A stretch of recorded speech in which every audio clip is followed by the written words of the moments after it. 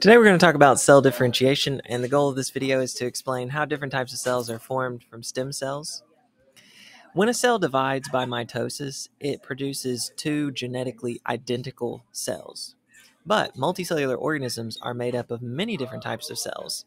That's what you can see in the video. We're made up of red blood cells, white blood cells, nerve cells, um, sperm cells, bone cells. You, the list goes on. There are lots of different types of cells. So here's the question How can cells be genetically identical? All of the cells in this picture have exactly identical DNA, and yet they're structurally and functionally different. How can that be? Well, this is possible through cell differentiation.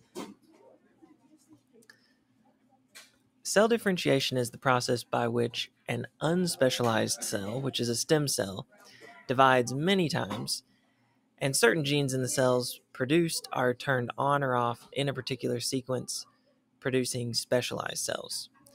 Once the developmental pathway of a cell is determined, it can't alter its path and change into another cell type.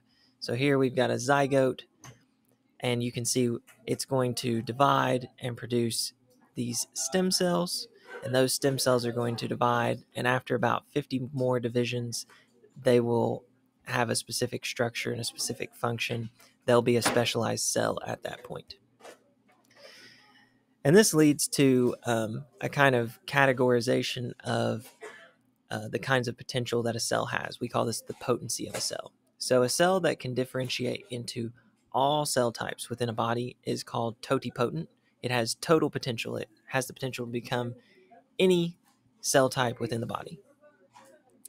An example of a cell in the body that uh, is totipotent is an embryonic cell. So uh, when you take a newly formed zygote, so a sperm and egg cell just came together, formed a zygote, um, that cell up to about the first four divisions of it.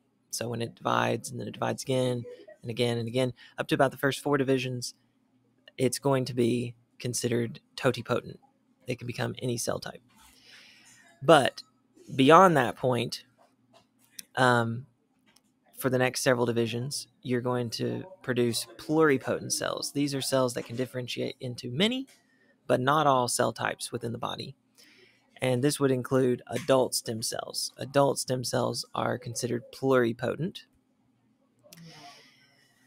Now, beyond that point, so as those cells continue to divide, you'll produce multipotent cells. So, for example, here is bone marrow. Inside the bone marrow, you have stem cells, but these are multipotent.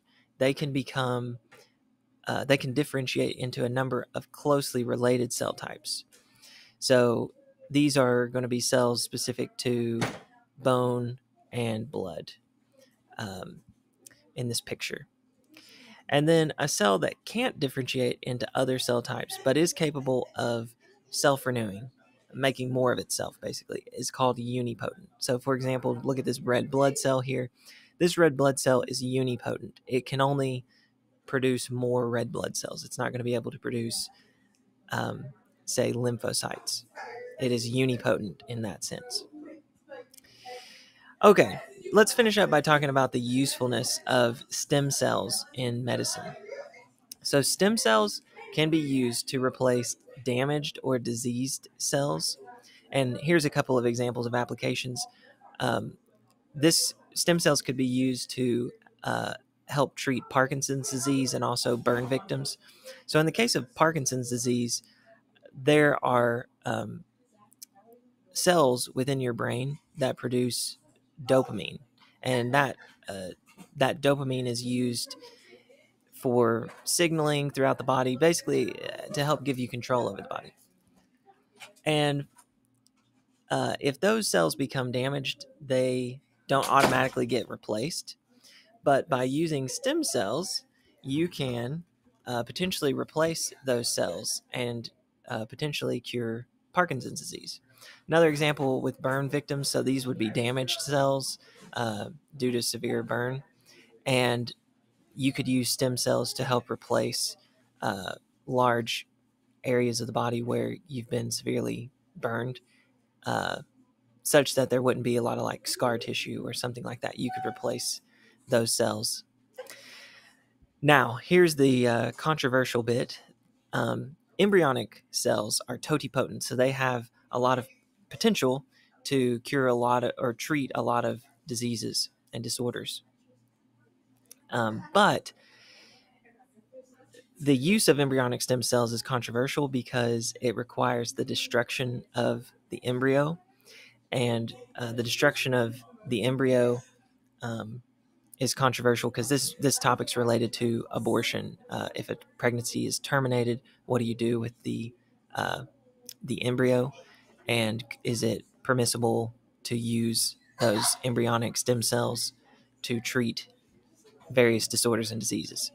So that's the controversial bit, and that gives you a sense of how the body produces lots of different types of cells through cell differentiation and how stem cells might be used in uh, medical treatment.